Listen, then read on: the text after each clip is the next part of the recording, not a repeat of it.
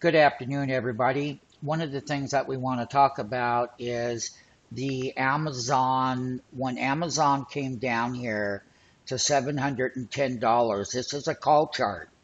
It says so. Amazon hourly candles. This is a call chart. Now, let me ask you all a question. Why do you trade options and you've never seen a call chart or a put chart? And what is it about the retail option trader who never wins? Uh, in the long run, that is. So basically, we started buying the calls down here, and we came up, and this is the uh, hourly candles, and we came straight up here, and we hit right about almost 750. Now, this is the actual Amazon hourly candles.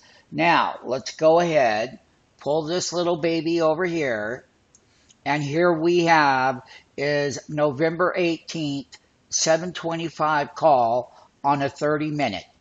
When we were buying them down here, Amazon had gotten killed and the put side paid big, big money. And this morning, what we did was on that opening bell is we sold out up here right around $24. You heard me.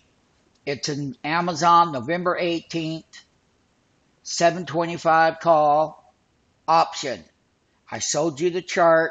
And once again, some of the greatest things that could have ever happened to you is to actually get into the live trading room. Do you really want to learn how to be a market maker in turbo option trading? You can. I know what you go down. I know all the roads you go down. I know all of that retail stuff never works. However, by buying 10 contracts here and selling them at $25 for $25,000 exit, of course, minus your uh, $7 entry on the opening bell. Well, you know what? Life is good. And it is. And once again, we established the low down here and we started buying the 710s, we started buying the 715, 725s, we started buying the 730s. And yes, this is that big move off of that bottom. And it was time to go higher. Actually, when you take a look here at this hourly area, you can see right here, this was the last place that Amazon went straight down. And it did. And we can clearly see that. And that was straight down here. And it went down. And the put side of the market for the put side of the 750s, and we have them up there on the site and on the channel. It was time to go long. The sellers were out of the way for now. And it was a great move. It was a great move and we're talking big profits. Um, one of the things that we do know, um, if we go ahead, I'll do this. We go. When the calls came all the way down from $42.50, it was time to buy the 710 calls.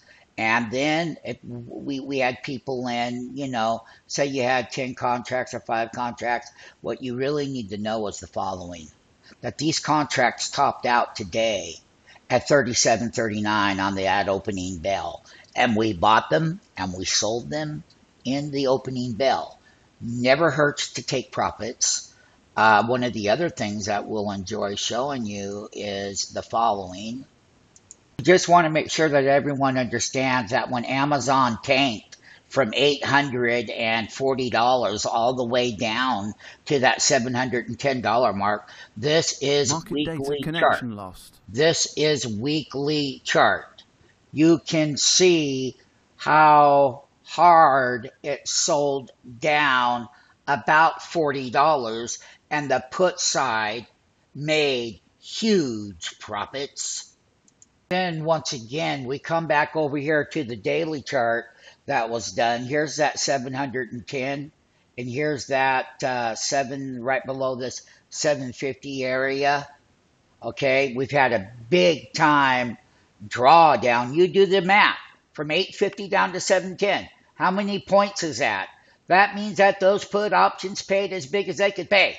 And they're on that live entry that we did over this last week. Last week, this week being Wednesday, this week from 710 on the daily, hitting that 749.87.